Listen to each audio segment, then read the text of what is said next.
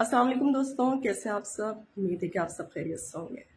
अच्छा मैंने last video upload की थी खुला से मुतालिक, जिसमें जो है मुझे काफ़ी सारे इनबॉक्स में मैसेजेस आए कि मैं गलत चीज़ को प्रमोट कर रही हूँ और गैर शरे कर रही हूँ, जबकि ऐसा नहीं है।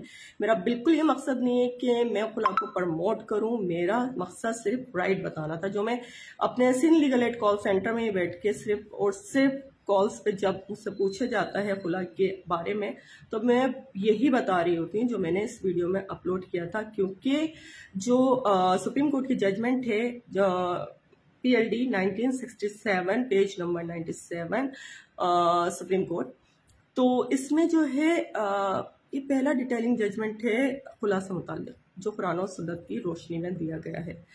जिसमें एक आयत कोट की गई है, उसका तर्जुमा है कि और औरतों के भी हुकूक हैं जो मिसल, उन्हीं हुकूक के हैं जो औरतों पे हैं कायदे के मवाफिक।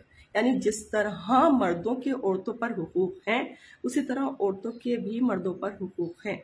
जैसे मर्द तलाक देता है, औरत को विदाउट हर कंसेंट इस तरह औरत भी तलाक ले सकती है and court can grant khula without the consent of her husband तो मैंने कोई ऐसी गैर बात नहीं की थी। इसमें ये औरतों के हकूक़ को कुरान सुन्नत की रोशनी में साबित किया गया था और इसी जजमेंट के तहत अभी हमारी मौजूदा अदालतें जो हैं, फैसले सुनाती आ रही हैं या खुला ग्रांट करती आ रही हैं तो वो इसी जजमेंट के तहत करती आ रही हैं।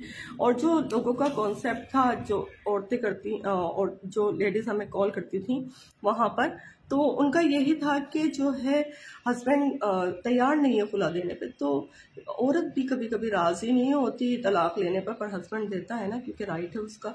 इसी तरह औरत को भी राइट है कि वो खुला ले। अगर वो रहना नहीं चाहती, साथ तो अलीहदगी इख्तियार कर सकती है, उसका हक है। हाँ उसके अवस वो अपना हक महर छोड़ देगी, जो कि हस्बैंड ने अगर दिया है तो वो रिटर्न करेगी, और अगर नहीं दिया है तो वो उसको छोड़